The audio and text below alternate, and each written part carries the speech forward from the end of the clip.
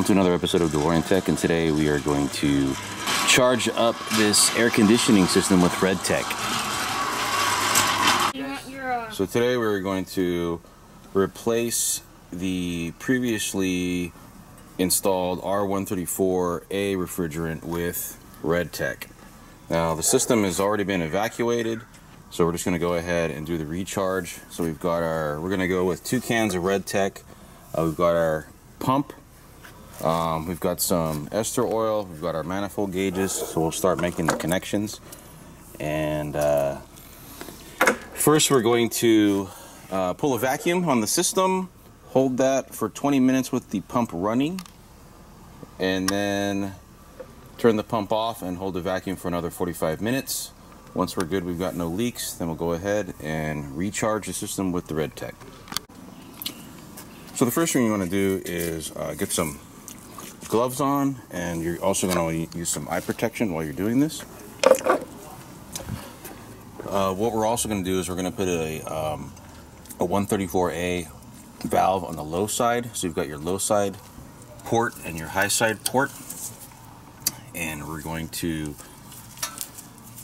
take, these are the original R12 fittings on here. But there's an adapter that you can install on here um, in order to pull a vacuum on the system by using the quick disconnects on the manifold gauges. So here's the low side adapter that we're going to be using. So now we've got our high side hose connected. Um, we don't have an adapter on that one, but you could actually um, get another adapter for this, but you would have to use a low side disconnect for it. We're just going to go ahead and use that for the low side hose and we've connected directly here to the R12 fitting of the high side um, pump hose. So these little adapters also come with a cap so you can just leave it on the car like that. So you've essentially just retrofitted the, uh, the compressor to accept R134A quick disconnect fittings, which we're not going to be using R134A, but this is just more convenient for whatever refrigerant we're putting in. We just happen to be putting in the Red Tek, so. So we have our quick disconnect fitting installed for the R134. What you do is you just let down and it just snaps in place. It's really easy. So we've got our manifold gauges all connected together and we have our outlet size uh, outlet side evacuation hose connected to the inlet of the pump. We'll just go ahead and connect. I use a, a vacuum so we don't get oil vapor on the cars, a vacuum hose right here, and I just kind of um, route that out somewhere further away from the vehicle. So this pump is an oil pump. If you have an oilless one, even better. Um, but this is just a cheap one I got on Amazon. So once you have everything connected, just go ahead and turn the pump on. And then you open up your manifold gauges. So there's the low side valve, so you're opening that valve up. And then the high side, you're opening that valve up. And you can see the needles start to go below zero because you're pulling a vacuum on the system. So that's what we're doing right now is pulling the vacuum on the system. Here are the two cans of Red Tek that we're going to be using. So the recommendation is to run the pump when you're evacuating the system for a minimum of 20 minutes, and I have another video on how to evacuate the system, um, but we're just gonna repeat the, the process here. Okay, so once the 20 minutes is up, go ahead and close off your manifold gauges. First, before you turn off the pump, then you turn off the pump, and you hold the vacuum on the system for 45 minutes. So I was having an issue with this one. Um, might not be good, but it was leaking a little bit. So I went ahead and just connected directly to the R12 port with the hose, with the low side hose. So we will hold the vacuum for 45 minutes and just verify there's no leaks on the system. We're gonna come back and do a recharge. Okay, so now we are going to connect the can tapper to the can of Red Tek that we're gonna be using to recharge the system. So you've got a threaded end here And there's your tapper in there, so you'll just screw it on. Loosen it first.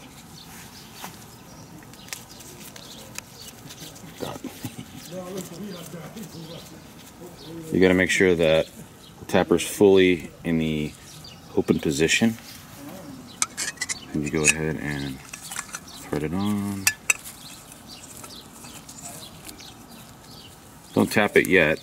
We're just gonna touch at the top of the can. Don't over tighten it. Make sure it's good and solid. So our next step is we've disconnected the yellow hose from the pump and now we're going to connect it to uh, the can of Red Tek that we've threaded the can tapper to. Let's go ahead and do that.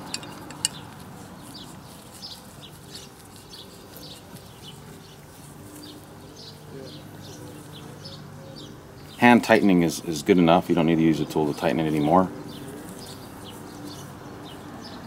Now, right now we've got our manifold gauge in the closed position. We'll keep that in the closed position until we're ready to start recharging the system. So we're going to go ahead and pierce the can now. So just turn it clockwise.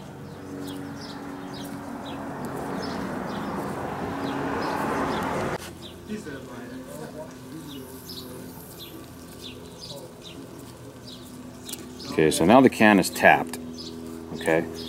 And we've got our manifold gauge on the low side closed. We're actually gonna introduce the refrigerant from the can through the pump hose into the low side hose into the low side of the compressor. And we're gonna do that first without the AC running, just to achieve a minimum charge. Then what we're going to do is uh, run the AC system to get the remaining refrigerant into the system and then go ahead and add another can after that. So we're going to go ahead and, and open this up.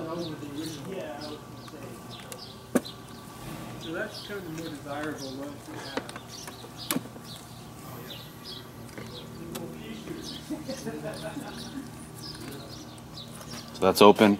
And we're going to slowly open up our refrigerant.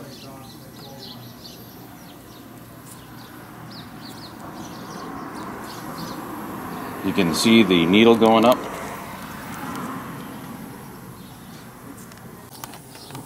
So now that we've achieved minimum pressure on the recharge. We're going to go ahead and start the engine. So turn the AC on.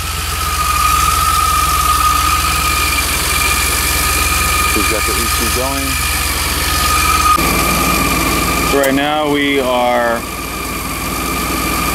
charging the remainder of this can of refrigerant in there.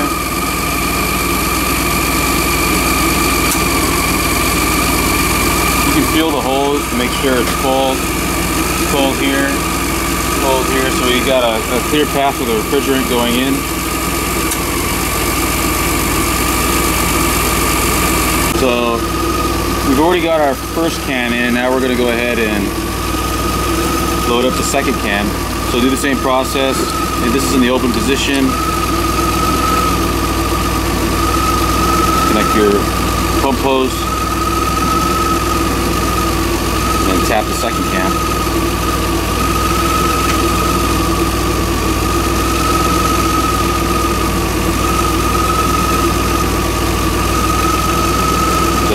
open up your low side manifold gauge.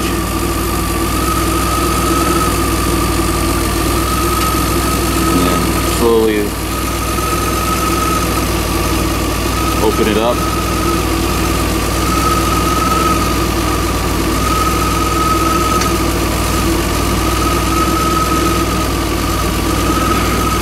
And we're jumpering the AC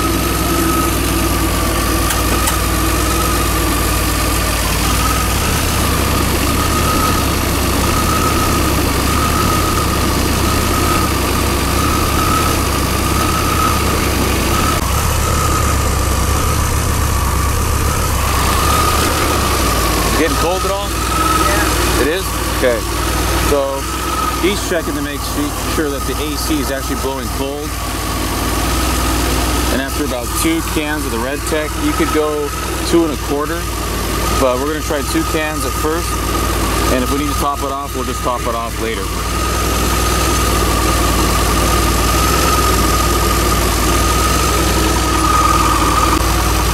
Sometimes it's difficult to know if the can is empty, but as long as the fittings are cold and you can tell that the hoses are cold and you can almost feel a flow going through this. When that stops, everything warms back up again, then you know you're out of refrigerant in this can. Now we've got both cans in. All you gotta do now is disconnect your hoses and replace the caps and you're good to go. So we started up the car and we're running the AC. The compressor's not cycling. We've got good pressure in the system. The car's blowing really cold right now with the Red Tek. It's a pretty warm day today. This is feeling pretty good.